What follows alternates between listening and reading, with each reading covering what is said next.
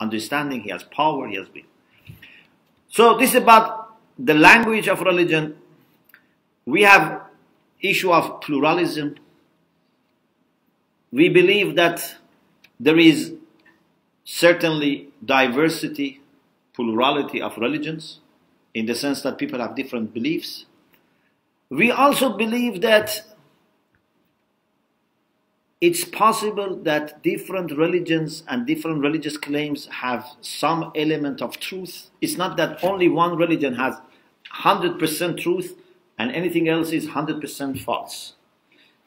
Even inside the same religion, people can have different portion of truth. Maybe some Muslims disagree with each other. It's not that every Muslim or every Christian, you know, has the same share of the truth. What is important is in order to have chance for salvation, at least some level of truth, some basic truths must be there if you want to have salvation in the sense of going to heaven.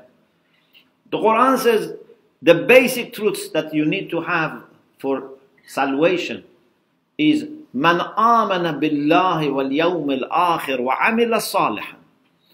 If you believe in one God and in the hereafter and do righteous deeds, then you can go to heaven.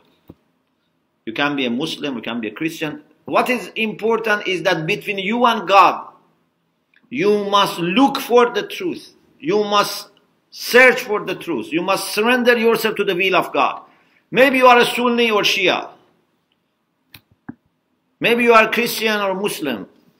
What is important is that Allah looks into the heart of people and finds that heart either is looking for the truth or is biased, is humble or arrogant. So, this is why we believe that maybe someone is not aware and does not believe but can be excused. You know, we have two types of jahl. Jahil qasir, jahil muqassir. Sometimes person doesn't know, but he couldn't know. Sometimes person doesn't know, but he could know. These are not the same. If you want more in discussion about uh, divine justice, uh, Ayatollah Mutahari has discussed, and we had also a course on that.